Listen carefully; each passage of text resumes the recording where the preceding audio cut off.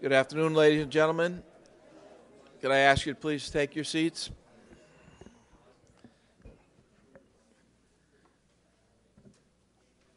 Well, thank you, thank you all very much for coming out on uh, on such a hot and humid day, and uh, want to welcome everyone uh, this afternoon uh, to the presentation by the International Energy Agency of their medium-term uh, oil and gas markets review.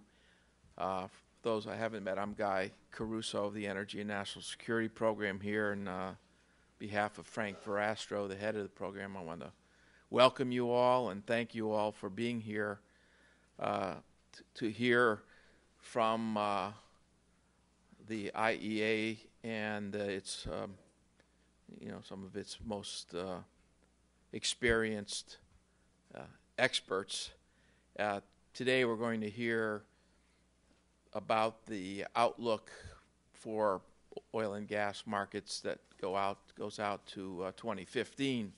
This is an initiative that uh, was started in the IEA about five years ago, and it, it fills that gap between the monthly oil market report, which typically goes out 12 to uh, 24 months, and the long-term outlook, which typically goes out about 20 years. So it, it's, it's an outlook that uh, looks at the both the oil and gas markets in one combined publication for the first time, uh, and uh, it it is one of those that when you think about what are the things that can affect the uh, medium term, the investments that have been made both on the demand and the supply side, pretty much in in place.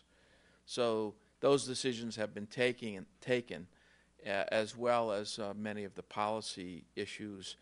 So this focuses in on what does what do these investment decisions, these policy decisions that are in place, what impact will they have over the next three to five years? So uh, clearly, even even with that, there are wild cards, and the most obvious one is the uh, oil spill and its impact on both oil and gas markets uh, in this time frame. So we're lucky enough to uh, be able to hear from uh, three of the IEA's leadership uh, today, and starting with Ambassador uh, Richard Jones. Dick is a senior uh, diplomat who left the Foreign Service to join the IEA about 18 uh, months ago as a deputy executive director, and Dick has had a wealth of experience, including four ambassadorships and other senior positions, and uh, in energy producing uh, countries for the most part. And the latest uh, ambassadorship before leaving the Foreign Service was uh, in Israel, extremely important position, but he's also served in uh, producing countries like Kazakhstan, Kuwait, Saudi Arabia. So it brings uh, enormous uh, knowledge of the region, oil and gas producing region, as well as a, an understanding of the politics and the and the, and the international issues. He'll be followed uh, uh, on the oil market uh, outlook uh, by David Fyfe. David is the uh, division head for oil markets and industry in the IEA, has been in that position for several years, but had had more than 20 years of experience analyzing oil markets uh, in the IEA and for consulting firms in the UK. And David's native country is Scotland.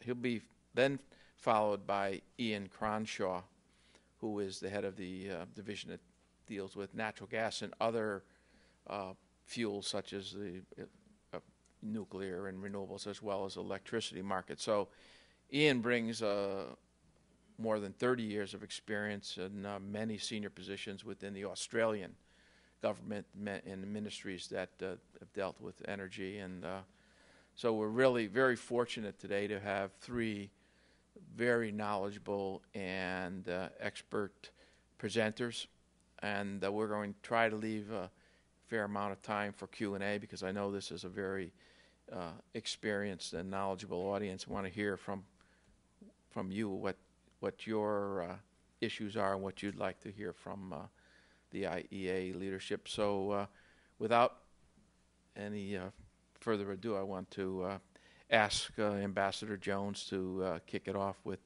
with an overview, and then followed by David, then Ian. Well, uh, thank you very much, Guy, for that uh, um, opening uh, introduction. I don't think I appreciate all that high praise, but I'll take it anyway. Um, anyway, good afternoon, ladies and gentlemen. Um, first, I want to thank you again, uh, Guy, and all your friends at C- all our friends at CSIS for hosting uh, today's launch of the medium-term oil and gas markets 2010. As uh, always, the warm welcome and efficient organization afforded by CSIS has been outstanding. The MTOGM, as we call it, is a brand new report, as Guy mentioned, combining our annual review of natural gas uh, market trends with the regular medium term projections we generate for the oil market. These markets are different in many ways, but there are, there are also areas of convergence, and we are seeing increasing interaction between oil, gas, and power markets. We therefore decided to present our medium term analyses together and to allow our readers to draw their own conclusions. The two lead authors, who have been introduced, will shortly provide you with more details. Uh, but first, let me point out some of the key similarities and differences between the two markets, review some of the central findings from the publication. First, in terms of comparisons between the two fuels, we see many similarities upstream. Multi billion dollar investments in both oil and gas frequently are made by the same countries, companies, and in many cases in the same reservoir. Downstream, the two fuels have in the past competed head to head in power and industrial markets. These interactions continue today, even though the oil use has become much more concentrated in the transport and petrochemical sectors than before. In terms of market structure and pricing, oil is a genuinely global commodity, while gas markets, although globalizing, remain bound by some key regional constraints, including difficulties in transportation and distribution. Beyond this, however, the two markets face some similar challenges. A central similarity is uncertainty. Uncertainties in the global economic environment, over the pace at which future supplies can be developed, uncertainty surrounding the strategies for improving end use efficiency, and the perennial uncertainty surrounding market data for both markets. Finally, we're also seeing a trend in which many international oil companies, confronting barriers to access for new oil reserves, and amid economic and technological improvements in the ability to tap gas, are enriching their business portfolios by adding gas to oil. We only need to consider the experience of 2008 and 2009 when U.S. production rose by a combined 48 billion cubic meters, largely from non conventional sources, to appreciate the game changing power that innovative uh, technology combined with sustained investment has. These are some of the reasons behind our decision to present the two market outlooks together this year. We hope their combination into one document will be of use to all of you and other market uh, watchers. Turning now to the uh, medium term outlook, both oil and gas are enjoying a degree of breathing space in 2010 from the rapid tightening in markets we envisaged just one year ago. The recession, recession of 2008 2009 curbed economic activity, and with it, demand for both fuels. Oil and gas markets are now starting to show signs of recovery, but the impact of the recession differs across regions, and the outlook remains very uncertain. In both oil and gas, we see notable differences between non OECD and OECD markets, with strong growth in China India, and the Middle East, compared to weaker or flat demand elsewhere, especially in the fragile European economy. Of course, these contrasting trends make it harder to foresee market developments in the medium term with confidence. Let me comment uh, for a moment on investment.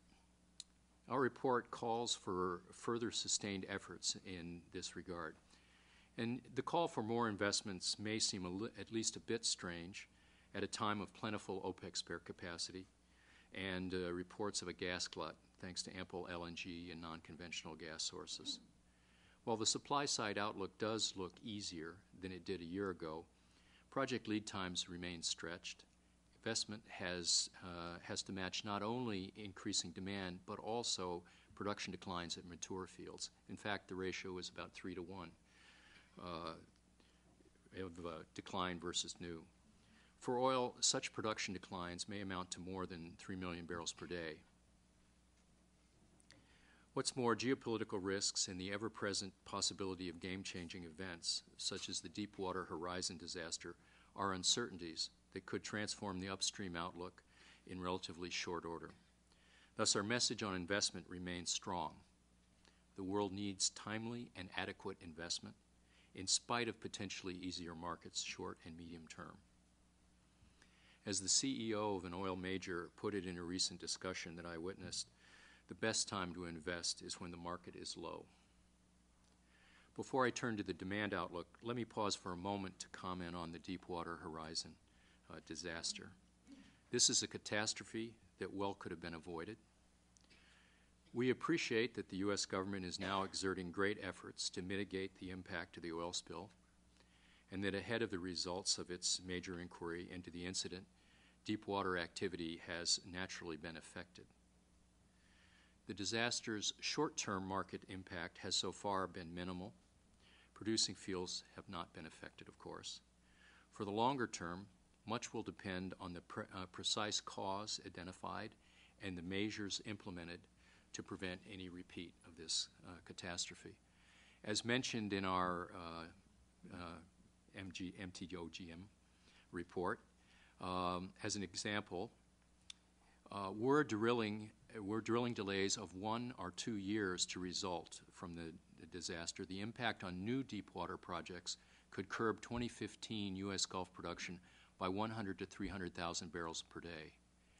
Although it's unlikely, similar delays worldwide could ramp that number up to 800 to 900,000 barrels per day. And here I should know that note that offshore production today accounts for a third of global oil supply will be even more important for ensuring our longer term supplies. Half of new additions to supply towards 2015 will be offshore. Moreover, world oil demand is expected to continue to grow despite energetic efforts to promote clean energy and energy efficiency in several countries. Policy measures arising from this calamity therefore need to be balanced. Accelerating the use of cleaner sources of energy and greater end use efficiency while at the same time acknowledging the need to sustain investment in new sources of oil and gas, including those in deep water. Now, back to the publication. Uh, economic recovery should bring renewed growth in demand for oil and gas. This demand will be concentrated in non OECD countries. But of, of course, projections of demand are never 100% certain. This publication examines the impact of several different combinations of GDP growth and oil intensity, thereby elucidating a variety of potential market outcomes. For the longer term, we clearly need to devote more attention to improved end use efficiency and to diversification of fuel supplies, including from zero carbon sources, if we are to maintain more comfortable oil and gas markets. This is why we are highlighting a third scenario for the longer term in this report, in which we show that accelerated improvements in energy efficiency could enable strong economic growth without excessive tightening of the supply demand balance.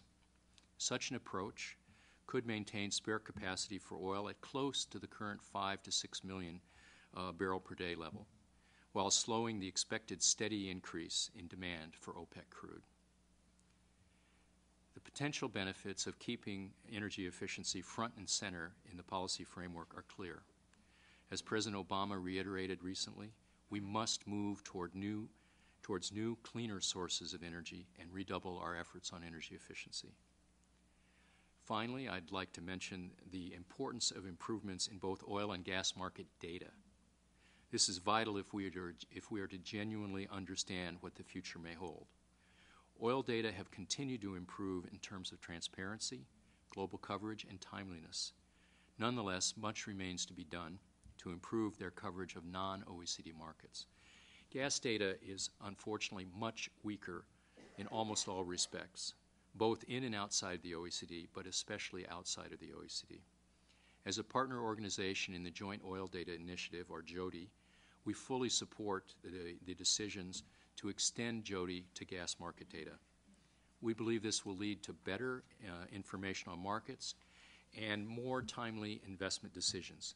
It should also help to reduce episodes of excessive price volatility, or at least mitigate them. So let me close uh, by saying again that I hope you like this new uh, joint publication. As data improves for gas, it is our hope to include more integrated modeling and analysis in future editions. So I'm now pleased to ask David Fyfe, editor of the oil section of the report, and then Ian Cronshaw to take you through the main highlights of medium term oil and gas markets 2000. Thank you.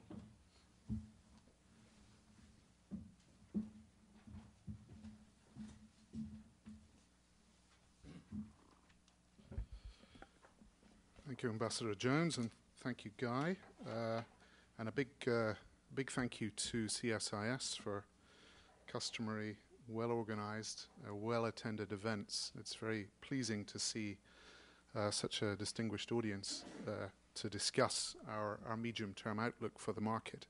Um, we've already heard about some of the rationale of pulling these two sets of projections together, and we've already heard a little bit about um, some of the, uh, the sort of methodology or the approach that we take.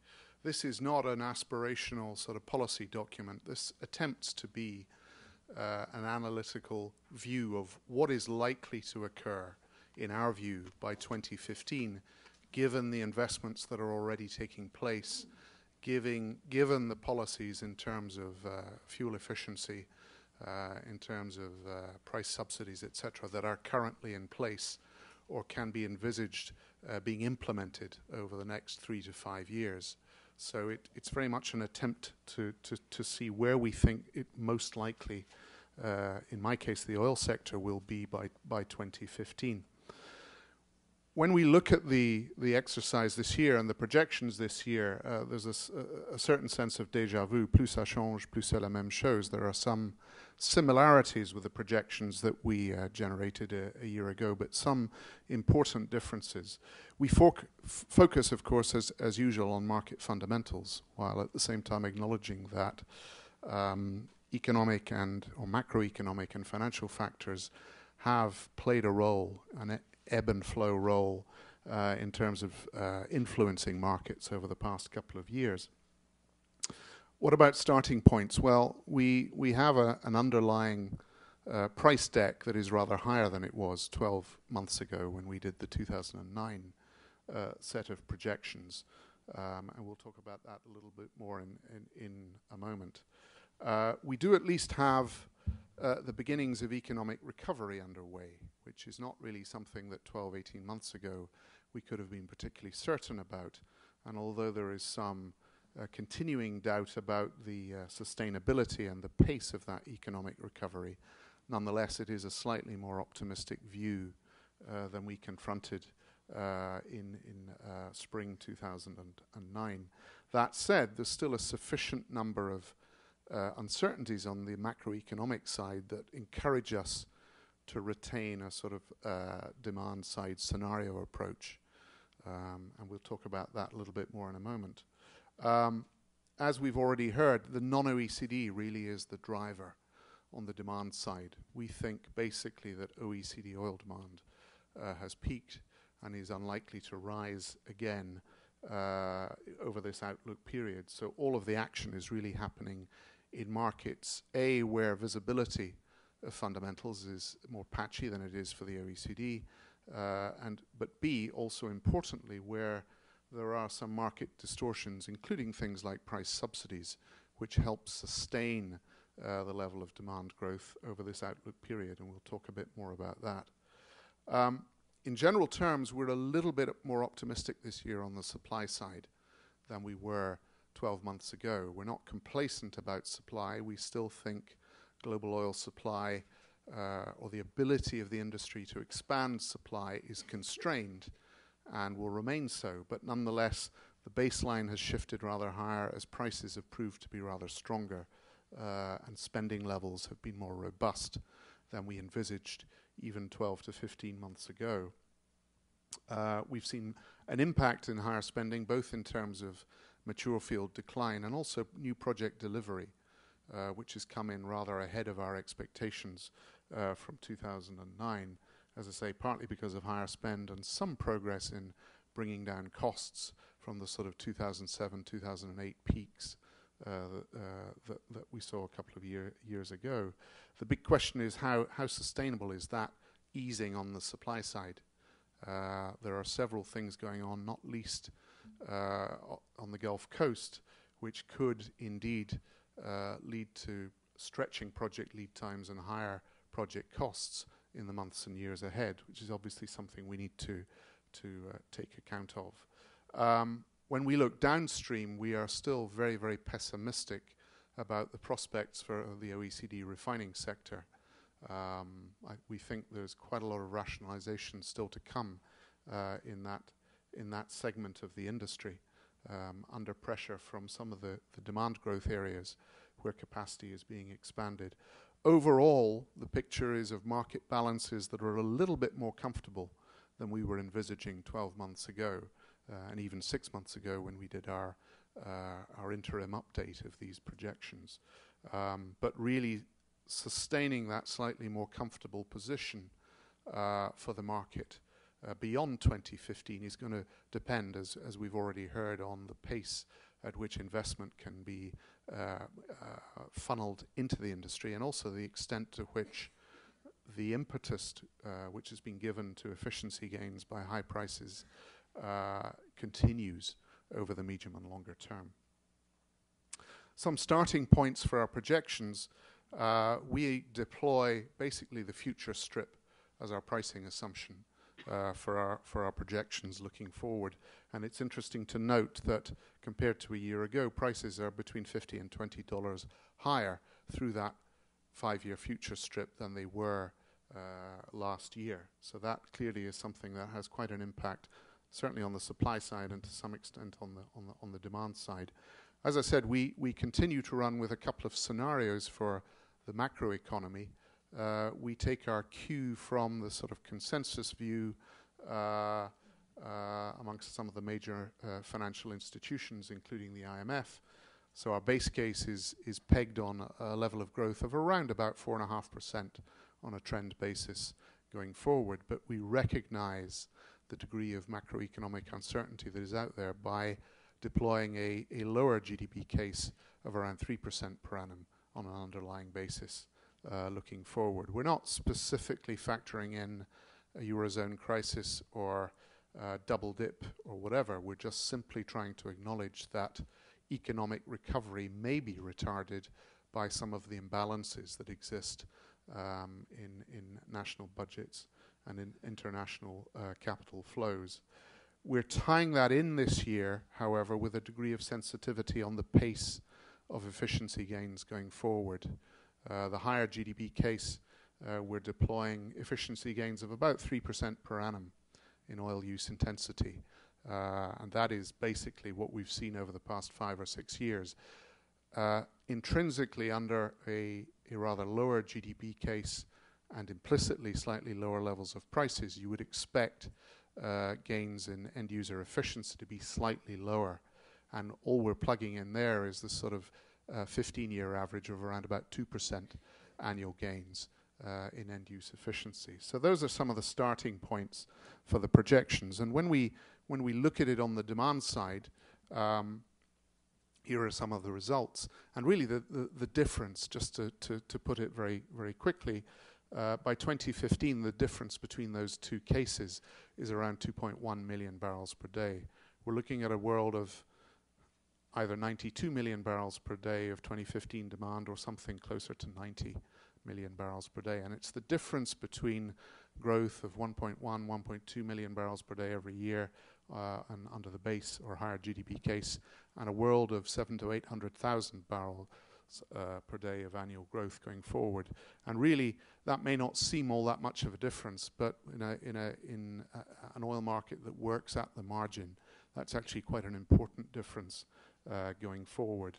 But you can see some of the different sort of combinations of GDP growth and potential efficiency gains and how those shift uh, 2015 demand uh, going forward on the right hand side. So clearly, there's a very high degree of sensitivity uh, in any sort of forecasting exercise of this this type. And and we believe in just setting out some of the ranges of oil demand that we could expect under these different uh, combinations going forward. But you know, our, our bottom line is of, of, demand growth of something around a million barrels per day on an annual on the annualized basis going forward. Um, I'm not going to dwell on this too much because this is really uh, sort of obvious, but the bulk of that demand growth is coming from outside the OECD. We think OECD oil demand has, has, has peaked, uh, has leveled off. We think there are structural changes that continue to take place in the OECD. They're happening in the power generation uh, and the industrial sector, with oil being backed out by gas and other fuels. And we're seeing or we certainly have seen over the past two to three years, I think, a, a, sea change in attitudes on this side of the Atlantic in terms of vehicle fuel efficiency and so on, that we think will probably remain embedded uh, over this outlook period, and particularly with the sort of price assumptions that we're deploying of sort of 75, 85 dollars per barrel uh, going forward based on the future strip. Um, so all of the action in terms of demand growth is coming out of Asia, the Middle East, to some extent Latin America, all uh, not coincidentally markets where the end use price of energy is very highly subsidized. Uh, and therefore the income effect and the depressant effect on prices in terms of domestic, what people pay domestically for fuel, uh, gives us fairly strong levels of growth uh, in these markets going forward. And transport and petrochemicals for us remain the key sectors as oil use becomes increasingly concentrated uh, in premium end use uh, sectors. We can't talk about oil demand without referring to the puzzle that is uh, China. And of course, data issues here become uh, fairly important because everyone trying to monitor oil demand developments in China is, is working with a, a, a very incomplete set of cards. Uh, we have very poor visibility on actual demand within the Chinese market. Um, there are some question marks even about economic uh, data coming out of China. And of course, it makes forecasting very, very difficult. But nonetheless, we still see this economy uh, generating around half of expected global demand growth going forward, uh, which is obviously very, very significant. And this is pinned on an assumption of something like 9 to 10% annual annual GD GDP growth going forward, uh, generating about half a million barrels per day each year of incre incremental oil demand, which is obviously uh, very, very important looking forward. Um, a, a, quick word on on, oil, on price subsidies, and it's, it's, something that the IEA has been mandated by uh, the G20 to look into, along with some partner organizations going forward. Um, and it's it's a piece of work which uh, Fatih Birol's team that works on the World Energy Outlook will be reporting upon in in November. Um, estimates of around 550 billion dollars spent on energy subsidies uh, in 2008, albeit that's probably a high point in terms of of uh, energy prices, uh, but obviously it introduces a number of distortions uh, into the market. Uh, and it's worth pointing out that, for example, in the Middle East, in, in our outlook period through 2015, probably around 70% of what OPEC uh, Middle Eastern member countries are doing in terms of expanding crude capacity is going to be gobbled up by uh, local demand growth, in large part because of the presence not, not only of rapidly growing economies, but the, uh, the existence of high levels of end user price subsidy. Um, and it's obviously something that is a huge financial burden on some of these economies. Now, places like India are beginning to grapple with this sort of issue, but when we make these projections, we're not forecasting that all of these subsidies are going to be taken away overnight. Um, we have done some work in the broader IEA which suggests that 2020 oil demand were subsidies to be uh, phased out over the next 10 years. 2020 oil demand could be as much as five or six million barrels per day lower than in a case where they were kept in place. Now, by 2015, what could the impact be? It's difficult to say. We haven't really done that that exercise, it makes a little bit less sense for the, for the shorter term. But clearly, one to two million barrels per day off 2015 oil demand in the event of lower price subsidies would have a, a fairly uh, large impact uh, on the market. Turning to the supply side, as I said, we're a little bit more optimistic than we were a year ago. We see growth of about 5.5 million barrels per day in total global supply capacity going forward. Uh, the baseline is is looking rather higher. Um, non-OPEC surprised on the upside in 2009. Russia, Colombia, uh, the North Sea, and Mexico.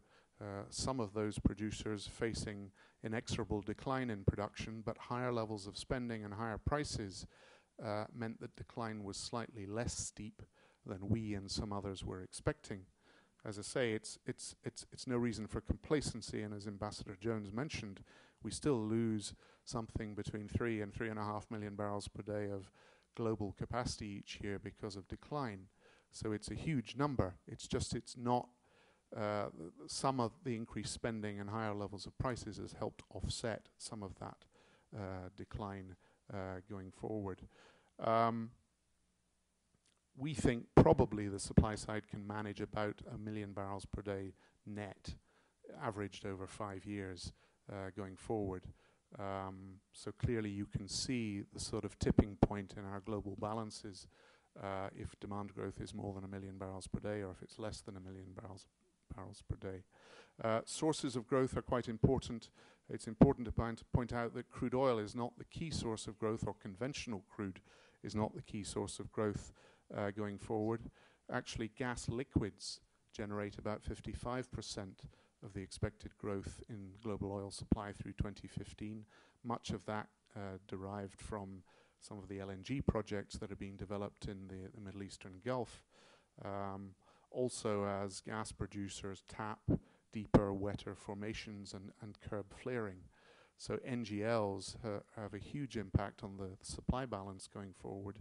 We've also got things like biofuels uh, and non-conventional oil from places such as Canada uh, going forward. So it's not really a story about conventional crude oil, which looks rather more static in overall terms. Um, it's much more about the other liquids and in becoming increasingly so uh, in this forecast. Non-OPEC, as I said, looking rather stronger uh, than we expected uh, last time around. I've mentioned the key sources, Canadian oil sands, Brazil, deep water, pre-salt, biofuels making an important contribution, Colombia, heavy oil uh, from Colombia and the Caspian uh, are key sources of supply growth there and some of the, uh, the usual suspects on the right-hand side of the graph in terms of maturing production uh, in OECD producing areas. Of course, any forecast is merely that. It's a forecast, and it can be thrown off course by any one of a number of, of key elements. We've already talked about uh, Deepwater Horizon and the Macondo well. Uh, we don't factor a sharp slowdown in deepwater production into our our projections, but we acknowledge that something between 300 and uh, 900 kbd of impact by 2015 is possible, as Ambas Ambassador Jones already mentioned. I think it's just worth noting that the the transferability of what happens in terms of new regula regulatory regime and new operating practices uh, in the US Gulf, it may not automatically transfer to other administrations because a lot of changes were made in terms of deep water operating regimes in Europe and elsewhere uh, after the Piper Alpha disaster in 1988. But we're going to be watching that and, and factoring in some allowance for delays in deep water as, as some of the remedies suggested after Macondo become clearer. Uh, and also clearly uh, doubts about decline rates. Can spending be sustained at mature assets? Uh, to slow decline uh, at older depleted fields? That's a big question. Uh, and clearly on the right-hand side you, of that graph you can see how important that is. A 1% swing uh, in assumed decline rates going forward can shift the supply side by anything up to 2 million barrels per day. So we're not complacent about our own forecasting model, uh, and we, we try and track field by field decline as we can on a monthly basis in our, our oil market report. Looking to OPEC very quickly, I mean, we've got about 2 million barrels per day of crude capacity growth out of OPEC. Half of that is coming from Iraq.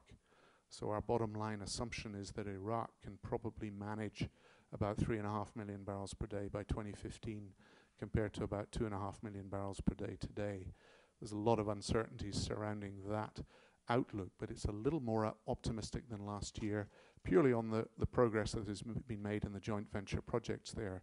We don't think 6 million is doable in that sort of time horizon, but we do think there is some upside uh, compared to existing capacity levels in Iraq. But the challenges are huge uh, in terms of investment, in terms of uh, a political structure being in place that would allow that expansion to take place, and in terms of midstream and downstream capacity to get the oil to market, whether that's in terms of domestic refining in Iraq or whether it's uh, getting it out to export um, to markets, to growth markets going, going forward.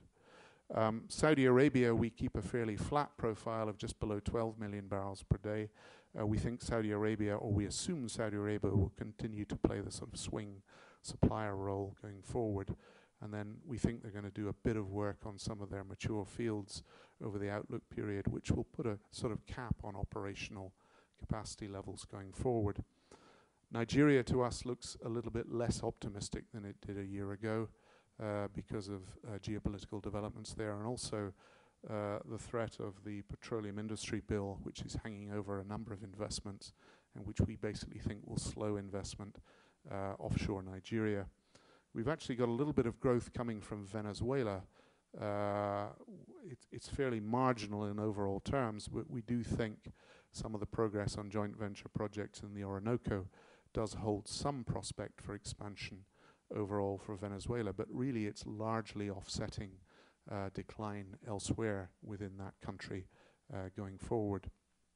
A couple of words on biofuels, which is obviously an important part of growth, about 800,000 barrels per day of the growth we expect between now and 2015 in terms of supply.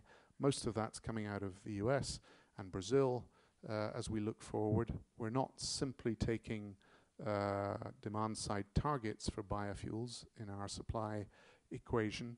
We're trying to look at what is actually being built today and what we think can be brought to fruition by 2015 going forward. It's an industry that has relatively short lead times and there can therefore can adapt to changing economics uh, fairly rapidly. Uh, but there's around about 13% of incremental uh, gasoline and gas oil demand that could be met uh, from biofuels going forward over this time horizon. Uh, but there's a big question about sustainability. There's lots of targets in place, but a lot of those targets, in order to be met, will probably require second generation biofuels. Uh, and quite frankly, at prices below $100 per barrel on a sustainable basis, a lot of the second generation biofuels technologies simply don't work. So we think second generation biofuels is probably more a 2020 issue rather than a 2015 issue in anything other than fairly marginal volumes looking ahead. We also take a look, obviously, at the downstream and the sort of crude feedstock slate that the global refining industry is going to be confronting over coming years. And you can see we expect an initial, an, a, an initial lighter, sweeter barrel, partly because of some of those NGLs and condensates and lighter crude supplies that are coming to the market. And then we see a sort of turning point around 2012 when global feedstock supplies become heavier and, uh, and sourer again over the outlook period, and particularly Latin America, Canadian oil sands, um, and declining light sweet North Sea production play into that uh, deterioration in quality going forward.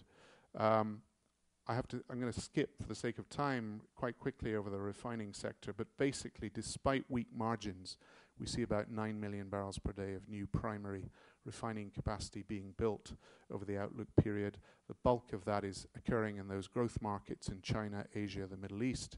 Uh, and you can see it's running well ahead of expected growth in oil demand, even under our more optimistic oil demand scenario uh, looking forward.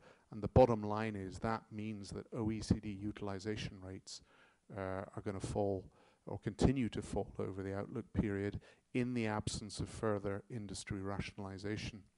And we actually think uh, that to get global refinery utilization back to around 85%, which may be a proxy for reasonable levels of profitability, uh, something like 7 million barrels per day of capacity overhang has to be addressed. Now, of course, the problem with the refining industry is it frequently grapples with uh, boom and bust and overcapacity, and it never actually ends up closing all of that capacity because of the difficulties and the costs uh, inherent in trying to shut capacity going forward. Another key uh, conclusion from our study is that uh, the, the global refining industry remains uh, suboptimally, suboptimally configured to generate the growth in middle distillate demands, diesel and jet fuel, uh, that we think are going to drive oil demand growth uh, going forward. So, summing up, um, economic uncertainty on the demand side, uh, on the supply side, a slightly more optimistic position uh, overall, although a lot of that growth is coming from um, uh, other oil supplies rather than conventional crude oil. Uh, we see a refining sector that is prone to boom and bust, as has always been the case. And we generate, to pull it all together, a couple of global oil supply balances. The higher GDP, higher oil demand growth case has the market tightening again from around 2012 onwards.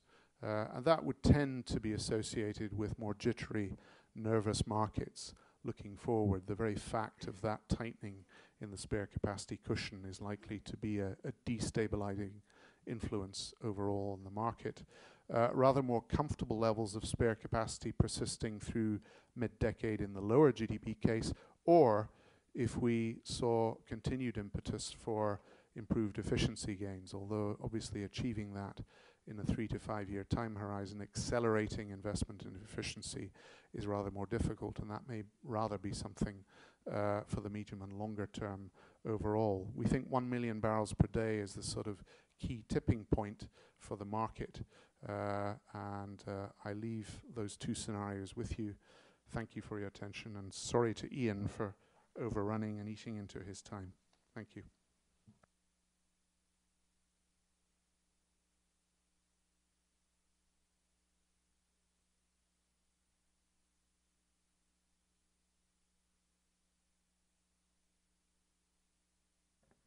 I can just prevail on someone to find that presentation. Just.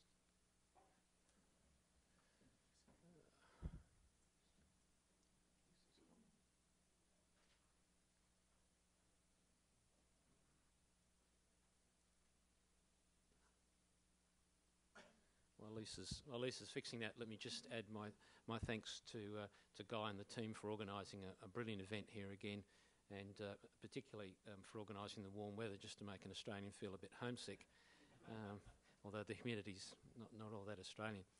Um, I guess you also discovered after David's dulcet Scottish tones, you've, you've got stuck with an Australian accent, which might not be the hardest English language to uh, English dialect to understand, but comes pretty close to it.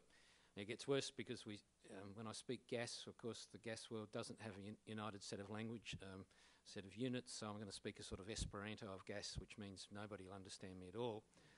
Um, we use BCM for volumes and, dollars per million BTU for, uh, for prices, so hopefully you'll be, at least be able to understand the prices. Um, just the quick fundamentals of what we try to describe 2010, um, 2009 10 fundamentals, a really dramatic fall in demand, particularly in OECD countries. Non OECD, as David said, a different story. Um, but coupled with that, a double supply shock. Um, in a positive sense, unconventional gas, particularly in the United States, a truly astonishing story. Plus the, the great surge in LNG supplies, still mostly to come, I might add, still mostly to come. And, and this is amazing delinkaging between spot prices and, and the oil index prices, which have dominated at least the European sector of, of the industry. And this has got some, some short term consequences um, not the least being a lot of utilities have found themselves, particularly in Europe, stuck with these large scale take or pay obligations, which have really come unstuck in a, in a pretty interesting way. Everybody asks the question how much can these oil based prices last in this environment? And of course, from a longer term perspective, when do people start to invest again, especially if you're Gazprom, just to pick one company, um, when and where? Um, and how long will this gas supply glut last? Because it is a, a gas supply glut. um, by anyone's standards, how will, and how will it unwind in a geographical and market sense. Firstly, to, to our OECD gas data, and of course the, the caveat about data applies. Um, our non-OECD data is poor. Can talk a bit more about that. Even our OECD data could certainly be improved. We've been working on this for five years or so with our members. Finally got it to the point where I'm comfortable putting up a, a monthly graph like this, showing obviously in 2008, early part of 2008, strong demand for gas through the OECD. Gas was very competitively priced, was available everywhere, and of course, come, come the autumn of 2008, all came to a shuddering quick halt, and, and these sharp falls um, culminating, I guess, in the spring of, of, last year, and then a slow recovery. And what looks like at the end of that graph something a bit more interesting, but of course we had a very cold winter. I don't think I need to tell people in DC that, that last winter was cold, but certainly everywhere in Europe it was cold as well. We had heating degree days of more than 20% above average in Germany, France, and, and the United Kingdom. That means you have to go back to 1987 to have a, a cold winter like this.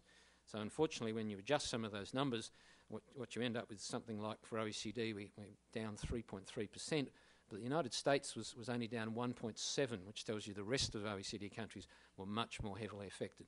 Um, UK minus 8, Spain minus 11, even Germany minus 5.5. So this is a pretty sad story and, and a recovery just in a very early nascent stage. Um, this is a complicated slide, but let me just focus on that little bit right up the end here. And it may not look like much, but when you, you take it back, um, when we did first did these calculations, it looked like Europe was going to go back to somewhere like 2001 gas demand. As the year panned out, it, it looks more like 2002 or 3. But that is a long way back for a mature market that's only growing about 1% per annum.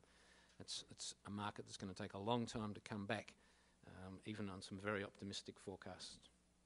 Just sort of focusing in again on this trend data, and again, you can see there the worst of the recession was, was late, I guess, 2008 into, uh, into the spring of 2009. Um, when we did our WEO forecast last year, we did them right down the bottom there with those jagged lines, and, and there was some, you know, people were making some pretty dire predictions. It does look to have come back a bit, but still, um, still, you wouldn't be uh, you wouldn't be betting the shirt, you wouldn't be betting the uh, the farm on that one.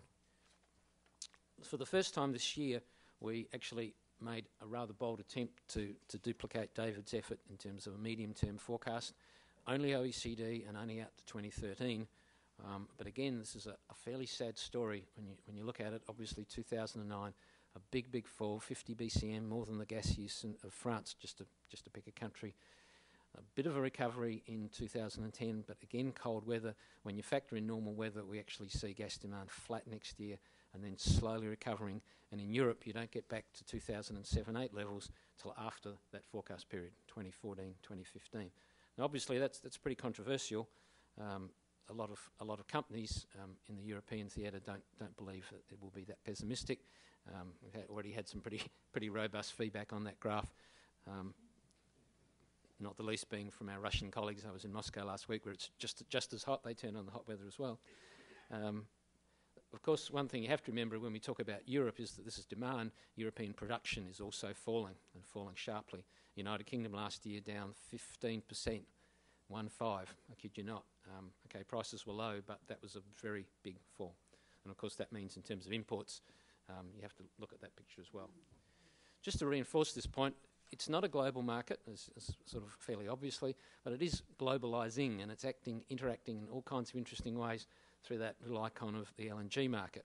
I'll come to that in a minute. The way LNG is particularly operating across the Atlantic, very interesting. We also have this collection of countries over here on the right, um, which in fact, as a group, make up more than half of global gas markets. That happened back in 2007. And of course, they're the countries that are growing rapidly. I'll get to the end of the presentation and talk a little bit more about those. But certainly, um, the way this market works is um, it con- continues to be a humbling experience for the forecaster, I think is probably the politest way to say it. US, a really astonishing story. I mean, I look back at our WEO forecast in 2005 when I, I joined the IEA, and we were forecasting at that point, um, we are looking at 2004 data, which was, I think, a little over 500, and we were forecasting a nice genteel decline over five or six years down to about 450 BCM or thereabouts. And I don't, don't think that was a particularly um, off the scale forecast, pretty much a consensus forecast. And indeed, um, a lot of people bet real money in terms of meeting that falling output because, of course, demand was going to grow. Um, some people bet real money in places like Qatar and, and, elsewhere on filling that demand. And, of course, as you know, um, 2009, the actual was 600 BCM, 150 BCM out in a six year period. Now, that's forecasting error writ large, I think. But let's be honest, that is a fantastic performance. Even as prices have continued to fall, we've seen rises there. 2009, um, continued growth of 3.5%. Even into the first quarter of 2010, continued growth. I mean, at some point, that growth will have to stop because um, demand isn't recovering that quickly. S- storages can't, can't cope. But it is still an astonishing story. And I mean, even as even as a year ago, people were still saying, well, you know, some of these guys have got to stop producing at six or five or four, and the answer seems to be more like three. So this is this is and this does have global consequences because um, because of the next slide, which is which is LNG. Now this is an industry that took best part of 40 years to get to the 240 BCM of output that we saw in 2008. Um, as you can see here, in the next three to four years, we anticipate up a 50% increase, 120 BCM um, non-trivial. A lot of this output, I mean, the capacity has formally ended service, but we've got a whole collection of mainly technical issues, um, certainly with some of the mega trains. Um, this is still to come on the markets later, later this year, um, next year, a lot more to come. Um, there's also some feed gas, issues, feed gas issues, I might add, places like Oman and Egypt and Algeria, which I can come to. The good news is, after a bit of a drought the last five years, we have seen some new investments um, come on. Last year we saw both Gorgon and the Papua New Guinea LNG project get the go ahead, both big, expensive projects, and we may well, over the course of this year, see a coal bed methane project go ahead, which would be a very interesting project indeed. So the people who are underwriting those projects certainly believe that the gas industry has a future post post 2015, and of course those projects are going ahead with, with China as the foundation customer. Gorgon, interesting thing about Gorgon is it is the first project that has gone ahead with China as the foundation customer.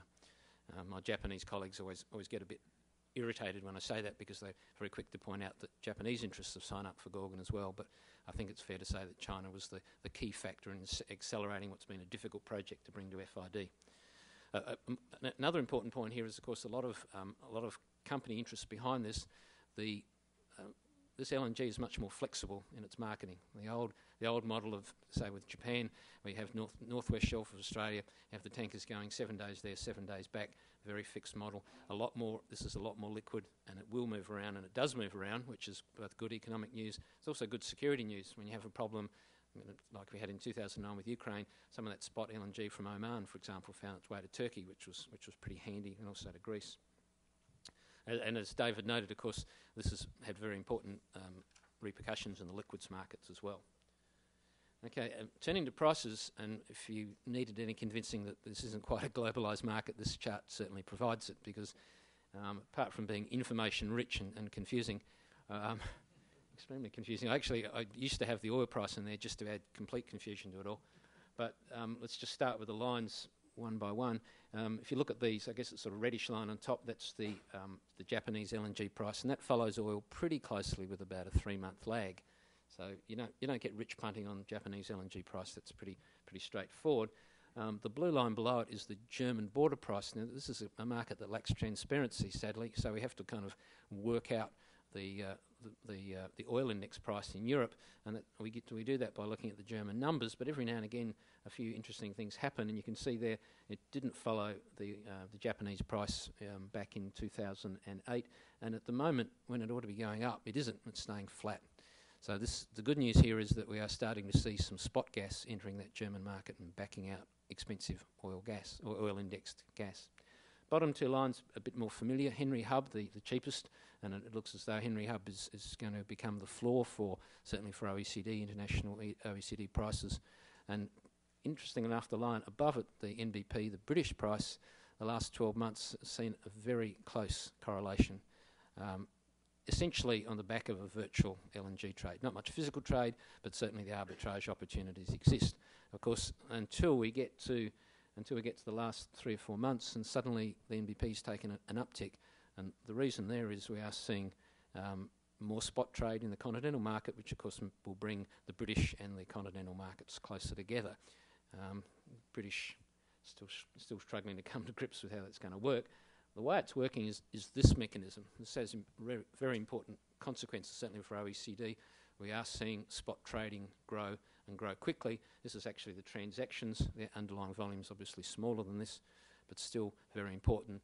Driven, driven by two things, obviously the wide disparity between contract prices, which have been eight to ten dollars, spot prices more like four or five. Anyone who can wants to get their hands on cheap gas, and you know, sorry about the long-term contract, but my business is going broke, more or less. So what that means is, and we, we believe that underlying um, volumes in 2009 are somewhere between 80 and 100 BCM, approaching a quarter of European European volumes. So that's a very interesting development with a very important security and, and market implications as well, um, and some benefits as well. Um, needless to say, our, our, colleagues in Moscow again don't quite believe this, um, or at least they refuse to believe it. But it's another story. Um, power markets interesting story. We spent a lot of time in, in the current review talking about electricity markets and the reasons for that, uh, hopefully reasonably clear. Um, gas is a very important new market, uh, a new, has found a new market in the power sector, and conversely, gas is making a very important contribution uh, everywhere in OECD countries. Um, last decade, about 80% of new incremental electricity demand has been met by gas. A very astonishing convergence, lots of good reasons for that a very strong business case, um, low capital cost, um, low greenhouse footprint. All of those things are very accurate, very relevant, and the recession has made them even more relevant. We're seeing very small scale expansions of new nuclear, new coal. In fact, only, only really significant new coal building in two OECD countries in, in the United States and Germany. So gas is still going to be there. Um, the interesting thing, how, but how do gas and coal play out? Um, certainly in the recession in the next decade. The interesting thing is that the interface between gas and coal is going to become the most interesting part of the power sector in the next in the next decade. That, that much is clear, and it's going to be much more interesting than we thought maybe a year ago. The US is the best example of that. Power demand down four percent last year. Still struggling to get back, certainly in, in the industrial sector. Although I not I suspect the residential sector or commercial might be pretty good today. Um, as you can see, there are a nice little peak. Um, and that's gas-fired power. So gas-fired power actually grew last year in the United States, and that's I guess that's a reflection of the ferocious competitiveness of, of, the gas supplies, but also the fact that coal in a number of regions rose last year. Coal prices have risen quite quite sharply over the last 12 months, driven by China. So suddenly, um, suddenly, what happens in OECD power markets, the balance between gas and coal, is affected by Chinese coal imports. It gets complicated. Um, so that's the story for the US. Completely different story in Spain, where we have very large concentrations of new renewable power. Um, Spain, about a 45 gigawatt peak um, demand economy, um, at least before the recession, more like more like 40 these days. Um, got about 20 gigawatts of wind. So when the wind blows, um, you don't need to burn anything else, and in fact, you get zero price events, which is interesting if you're a utility. Um, in Germany, we actually see negative price events. What that means is, of course, gas, as certainly oil price gas, the most expensive source, gets backed out of the mix, and we can see something like 20% decline in gas-fired power in Spain. So if you're a Spanish utility and you're trying to manage gas um, shipments and take or pay contracts, this is a real problem. Um, I'm just going to talk a little bit about non-OECD um, demand because it is quite important and is in common with oil, this is a very big growth sector. People said, well, China, you know, China's a, a a coal, coal-based economy, absolutely correct. Uh, a very big coal-based economy. Um, this year we're looking at 4,000 terawatt hours of power in China, which will make it the world's biggest power producer. If it certainly doesn't happen this year, it'll happen next year. Um, gas, very much a niche fuel, but a, you know, a niche in China is a very big niche. Um, this, is a, this was a 70 BCM economy um, when we did the forecasts last year for WEO, and we had it going to 140. And you know, we had a pretty vigorous internal discussion about 140. You know, as people said, you know, doubling, gee, that's pretty aggressive. Um, 140 is looking very conservative now. Already last year, through the recession, um, we, we believe China's a 90 BCM economy. This year, we'll definitely do more than 100. Building, um, building, and building and building. Turkmenistan China pipeline opened just before Christmas. It's taken three years to build um, roughly the same size as the Rockies, Rockies Express pipeline, if you're familiar with that in the US. Same length, roughly the same size, but they built it completely greenfields environment out in Turkmenistan, 30 BCM. Um, first 10 or so BCM flowing as we speak. It'll, it'll be 20, it'll be 30 by 2012 or thereabouts. Myanmar pipeline also under construction, and Chinese companies, um, as I said before, signing up LNG contracts like there's no tomorrow. This is a country that only started importing LNG in 2006, very small scale from Australia. We gave them an extremely good deal, which I prefer not to rake over. Uh, three, $3 a million BTU seemed like a good idea at the time, but anyway, that's another story. Um, China National Petroleum Corporation by 2015 easily importing 80 BCM, 80, which will make it the biggest um, gas importing company, I think, in the world, um, from practically nothing a few years ago. We used to say that China was a policy constrained environment, that is to say, price controls and, and rigid internal um, governance procedures were, re- were constraining its use of gas, and that's absolutely correct. But um, it is very clear that over time that will change. A major policy decision to raise the wholesale price of gas by 25% starts to look a little bit like Henry Hub now, starts to become quite attractive. Um, we easily anticipate by 2015 um, there'll be 150, 160, 170 BCM of gas in that market, which would make it bigger. It's already bigger than any IEA gas user except um, the United States, and it'll make it one of the biggest in the world. We could talk about, um, don't forget India. Um, India grew 23% last year, again, and a, um, a country that was policy constrained, and of course, policy constraints meant supply constraints. But you start to get rid of those. We had a very big, uh, a big fine. Krishna Godavari has come online now. That's led to a big increase, and of course, it's also put pressure on these internal pricing mechanisms to reform them. And we are seeing some change. It won't happen. It won't happen overnight. I said changing fast. That's perhaps a bit, bit of an exaggeration, but it is clear that that, ch- that India, in particular, um, will Im- will produce more gas and will import more gas. But China and India, between them, um, we anticipate 65 BCM of imports by 2012, which is only the year after next. That will be more than um, Europe imports by LNG um, as we speak. So these are very important emerging markets, a very important sign of growth policy um, making a big difference to them. I might add, of course, they will still remain coal-based economies. These are only niches, um, but pretty significant niches. So, just to sum up, um, uncertainty in gas demand, obviously the economic recovery, Europe in particular, looking very slow compared to North America and the Pacific. Pricing systems all over the place, um, very showing strong divergences, and that looks to continue, particularly the oil index pricing system under very significant pressure. Unconventional gas is changing um, the global gas game, not just from North America, but also potentially in China. Um, as I said, if we get a, a coal bed methane project up in Australia, um, and it's more likely to be one, two, or even three projects, then uh, inevitably that will have a big difference. LNG still to hit markets um, next year and the year after, putting even more pressure on those oil index prices.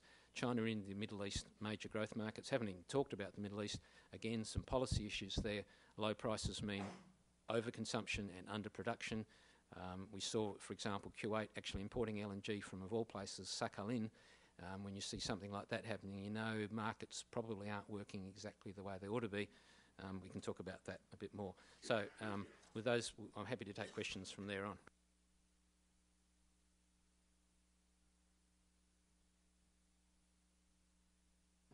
Thank you, uh, Dick, uh, David, and Ian for a very clear exposition of the uh, medium-term outlook. I won't uh, take any time other than to just follow up on one point. Dick made a plea to improve data, and uh, and I think you know it's obviously very close to my background, and, uh, and the IEA is clearly the uh, in the lead in best practices in collecting energy data, and uh, I know the IEF ministers uh, agreed in um, April of this year to include natural gas in the uh, in their data collection. Dick, is, is you see that actually t- having some real teeth, you know, going forward?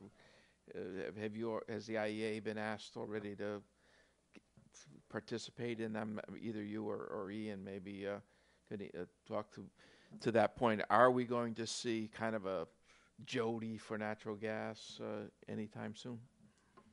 Well, that's a, a, a very good question, Guy.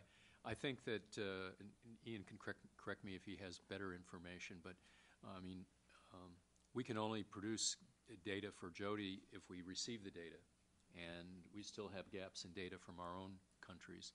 And I think you, it's a safe bet that if our own countries are having trouble producing the, the data, that uh, non-OECD countries will be even even less. Uh, so I, I don't think that we're going to have this data uh, immediately, um, but uh, we are certainly working as best we can with the resources we have to uh, to do it. But Ian, you might have some more comments on how the data has improved uh, of late. Yeah, I mean, if I, when we started this effort five years ago to produce this, this medium-term gas market review, our, our data was, to, to be blunt, pretty disappointing from our own member countries, let alone non-members. So we, we had to work around it, and we spent the last five years gradually working with, with our member countries to overcome you know, all kinds of boring statistical issues. I mean, I hesitate to say boring. They, you know, the bread and butter of statisticians to get comparable calorific values to, to, to measure these things in comparable ways. And, and, after five years, I think we've got a reasonable a reasonable outcome. Still some to do. So you know, the time is, is ripe to, to, to make this move to, to work more closely with the, the IEF um, and, and other uh, other international organisations to try and do the same. Um, for places like the Middle East, um, for China, for India, we, we've certainly been working with with a lot of non-member countries to improve their data quality in oil and gas and coal and electricity. Um, so there's plenty of work to do. It, it, will take time. There's no doubt about it. It won't happen overnight. But certainly um, we're willing and the IEF's willing. Let me open up for uh, questions, and please uh, let us know your name and affiliation. Uh, I think you were the first, sir. Uh, there'll be a microphone coming.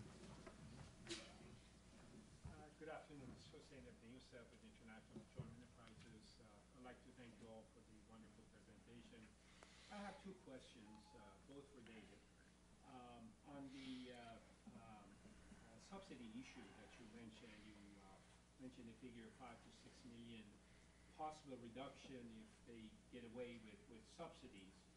Uh, are we talking about just countries in the Middle East or the type of uh, uh, benefit that oil companies, even in this country, particularly like in the deep water, get with free royalty or some other benefits that they get? Would that be considered subsidy as well? And since prices, as you mentioned, are going to go up, how realistic is the expectation to for for um, you know different countries to actually do away with subsidies? The second question is uh, on uh, you correctly pointed out that uh, we're getting more liquids from gas, um, and uh, but on the slide that you showed for OPEC, uh, you actually just uh, looked at the crude and uh, um, that was kind of interesting because uh, what they are uh, constrained with is the total liquid production, including the condensate.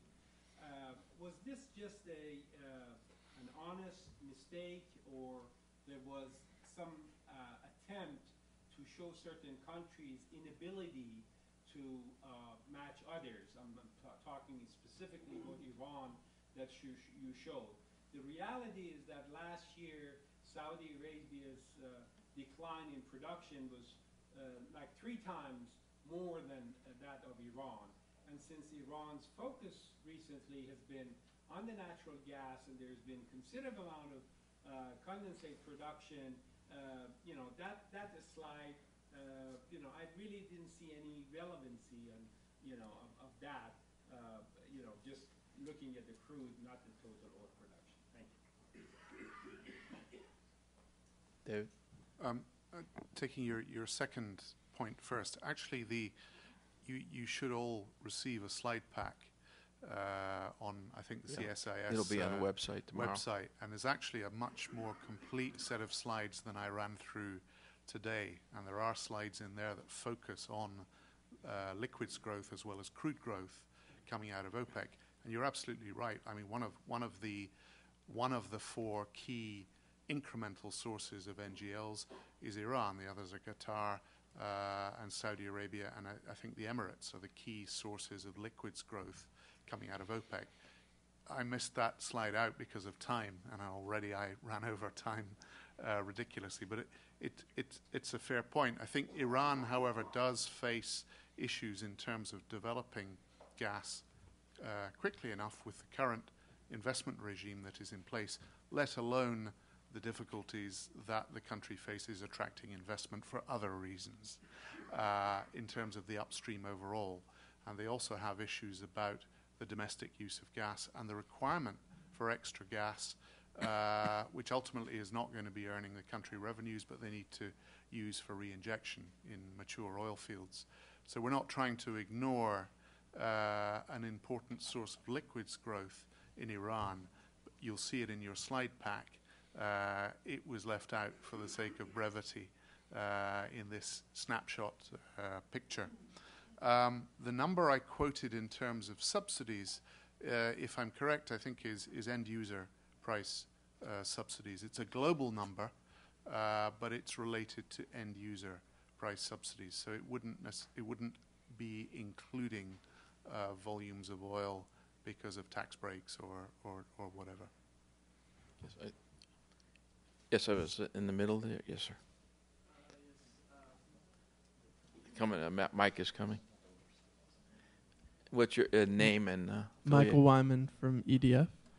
Uh, I wanted to see if you had a. I don't know if you track track this, but if you had a, a general range for marginal cost of production for crude oil worldwide, um, and if you could just give uh, some kind of range, um, that would be helpful.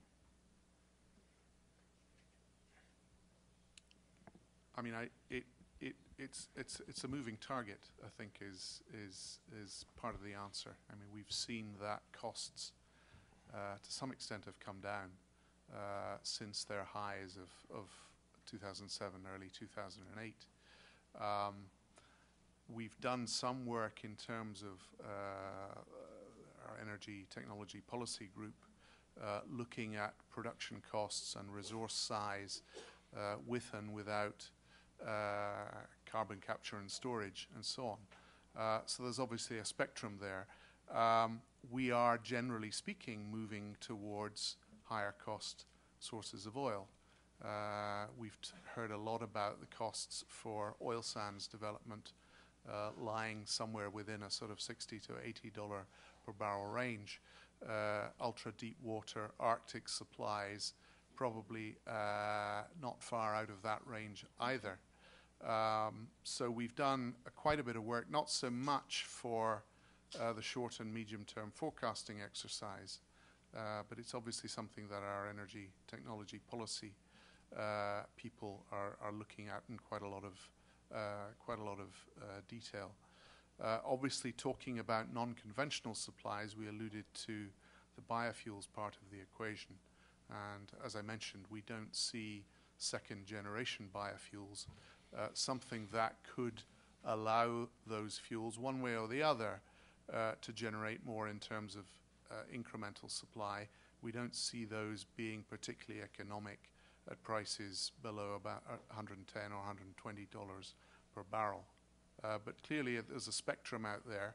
Uh, there's an awful lot of cheap oil out there, let's not forget, that can be produced uh, by some of the key resource holders, which certainly doesn't cost $80 per barrel uh, to bring to market. So that's something we need to remember. There is a there is another marginal barrel of supply that is in a sense constrained from reaching the market for reasons other than uh, pure economics. Thank you, and it's another example of uh, a lack of data. That you know, the, the, question you ask, we really don't have very good cost data on a lot of, uh, as as uh, David pointed out. So, uh, Al Hegburg has a question. Thank you. Um, I'm Al Hegburg. I'm the uh, oldest surviving former member of the IEA Secretariat. uh, David and Ian, uh, great job as always. Thanks very much. Uh, just one question, Ian, on uh, indexation and take-or-pay contracts on gold. Um, how likely is it, or what would you think, or how do you achieve gas-to-gas competition on a global basis, such that LNG in domestic markets of which there are a lot of distressed cargoes out there, would be competing um, uh, heads up and taking market share from uh, from domestic producers who are actually backing out coal for the power sector, for example. Yeah, okay. As usual, Al's asked a, a very interesting and, and complicated question. Uh, I mean, from a from a straight policy viewpoint, what needs to be done is um, is already happening. For example, in Europe, where governments are working very actively to break down the the, the barriers to transactions that exist. I mean, in a case like in a case uh, just to pick Germany, for example, it was only a few years ago that Germany had 17 balancing zones in, in one country. And you know, I think anyone who's been involved in the gas industry will know that in, that circumstance, it's very hard to crack into that market. Um, you know, in any in any significant way. Um, that's been reduced now to three, and within within a few years, will be down to effectively down to one. Um, we've seen the cost of um, balancing different calorific content in Europe. There's a high gas and a low gas. Um, we've seen those costs being internalised by the by the system operator. So breaking those those transaction costs down has certainly been um, a very major part of producing the increased gas on gas competition that we've seen in Europe. Um, obviously, you need to some extent the hardware. You need to be able to move this gas around as well. And of course, one of the things we learnt in 2009 in the Ukrainian crisis was that Europe's not very good at that. Um, but certainly, it is getting better. Um, people are getting very creative under the under the impetus of this gas on gas competition um, in swapping gas around and avoiding some of the hardware constraints. But Europe does need to spend more money on pipeline connections and, and I might add storage, which is a very important part of this market. Europe is certainly not investing enough in storage. Um, certainly, the, the fact that countries like China and India are starting to make some key policy decisions to free up their markets as well will produce much more gas on gas competition. Um, the oil, the, the, guys who are selling oil indexes, of course, say, well, you know, this is just a transient phenomenon. It'll last a couple of years, and then it'll all become a distant memory. Spot prices and oil indexes will converge. Maybe they're right. Um, I'd like to let the market decide that myself. Certainly, it is bending at the moment, somewhere between 15 and 20 percent of oil index volumes going into places like Turkey or Italy or Germany uh, are definitely on a spot prices, and you can see that in the German in the German context. Um, just, just to, well, I've got the floor. Just a couple of contents on that subsidy issue the gentleman in the front row raised. That subsidy calculation covers gas and coal as well. Um, and you know, those subsidies are non-trivial as well, and they, they're all over the planet. A lot of people have price-controlled electricity, which does lead to overconsumption. I mean, one of the countries we got roundly criticised, I might add, for in Fatih's analysis was South Africa. He said, well, you know, we don't have any subsidies, do we? Um, except for the fact that their utility um, can't cover its costs. So by any means we consider that a subsidy, and indeed the utilities broke and, and they have blackouts. So we attempted to, to, impute a cost to South African electricity and looked at the difference, and, and, we assigned that as a subsidy. So methodologically, yeah, you know, you have to be pretty, um, a little bit of bricolage, we call this in French. Um, you have to be pretty innovative in your methodology, but it does include all fossil sources, not just oil. And I'm glad you didn't ask me about the marginal cost of gas production because that's, that's, that's, even tougher than oil. I hope, that answers Al's question. It was, it was a good one. Jenny? Yes, yes, sir.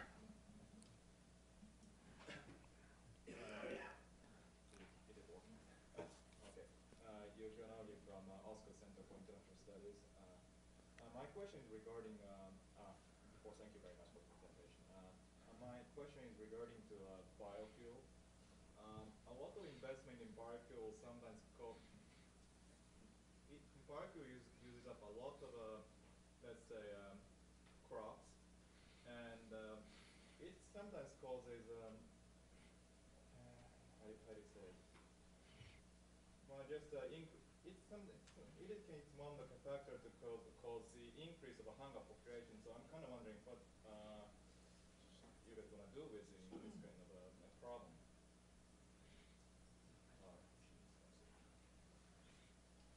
Sorry, I, you you said it causes.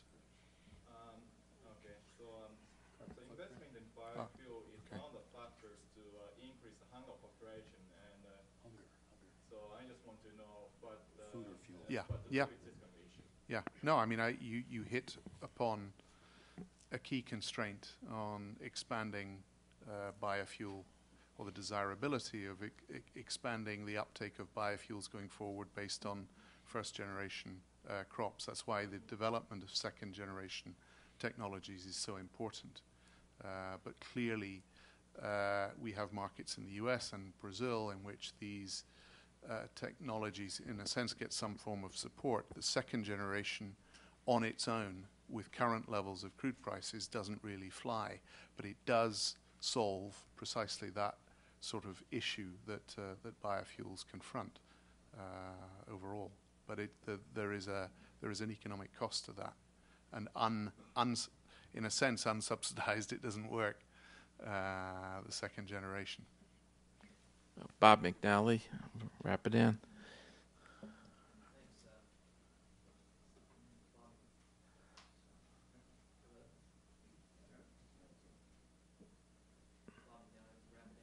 Again, thank you very much uh, for a great piece of work and for this presentation. I wanted to invite Ian to elaborate a bit on the unconventional gas as a global game changer, specifically with regard to shale gas and hydraulic fracturing. How, over the past six or 12 months, has your thinking and your team's thinking evolved on shale gas, specifically prospect for regulation in the United States, given concerns about water contamination and use, and then around the world, given uh, the geology and the politics, do you see any particularly promising areas or not promising areas for shale gas around the world? Just general thoughts on shale would be very helpful. Thank. Um, yeah, interesting enough, again, when I go to Moscow, I, I occasionally cop a lecture from the Gazprom people about how, how terrible the environmental impact of this shale gas is, interestingly enough. Um, obviously, we've been following developments with some, some interest. Um, there, isn't, there isn't as yet a huge body of evidence that problems are being caused. I mean, lots of people are talking about it. Um, the, you know, the fracking liquids are an important part of the intellectual capital of of the companies doing this, and they're you know they are rather reluctant to to um, to reveal precisely what's in in in the fluids, and that you know is, is going to cause some you know has the potential to cause some difficulties. But at the moment, we, we don't you know we don't see anything happening. Uh, I think you know obviously the events in the Gulf of Mexico underline that um, companies involved in energy extraction in general have a very significant responsibility. Obviously, if a problem did arise, then the, the implications again could be serious. But we haven't seen any evidence of any real evidence of that happening. Certainly, when you take um, shale, the, the whole you know the whole set of techniques that have made shale happen, and, and try to put them to work in Europe, you, you do run into some immediate problems.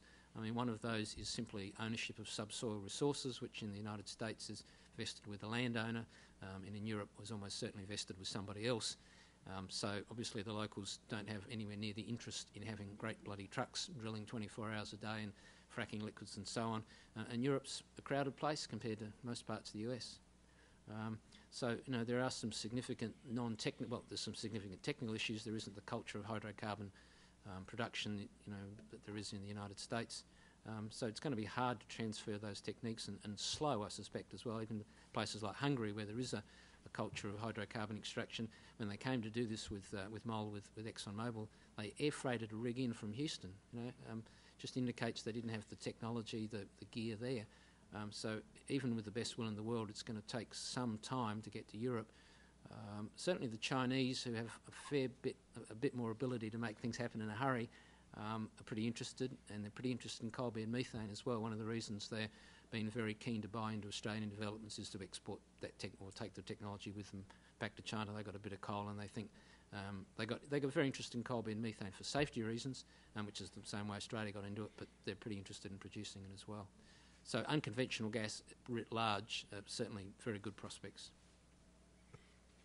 Yes, sir. Yes, my name is Kevin Easley. I'm with the U.S. Department of Energy Office of Policy and International Affairs, and I guess I want to ask about the other regulatory uncertainty that was referenced in the executive summary, and that being the future of commodity futures regulation. We know uh, before the July 4th recess here that the House passed the House Senate Conference Financial Regulatory Reform Bill. We know there's a CFTC proposal out to alter the status of commodity futures regulation. Just wonder what the panel thinks about these U.S. regulatory developments and their potential impact on oil and gas markets, uh, not only domestically but globally, particularly investment into new infrastructure and whatnot.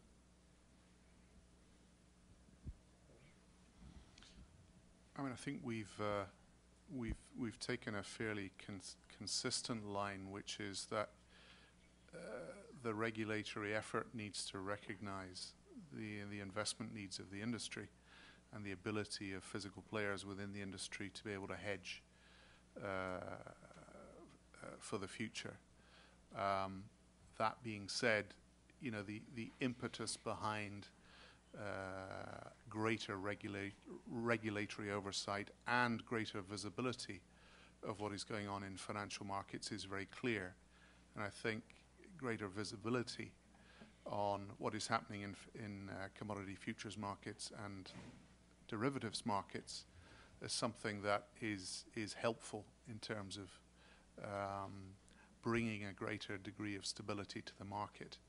Um, we have deliberately not taken a position as regards level, you know, whether whether a certain level of position limits or or uh, capital requirements uh, is appropriate or not. That is something that the regulators themselves, both nationally and internationally, must decide upon.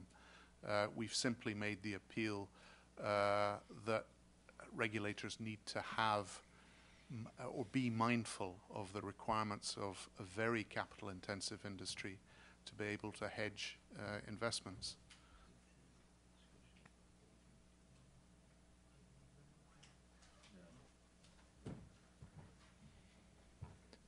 Okay. Um, any further? Uh, yes, yes, sir.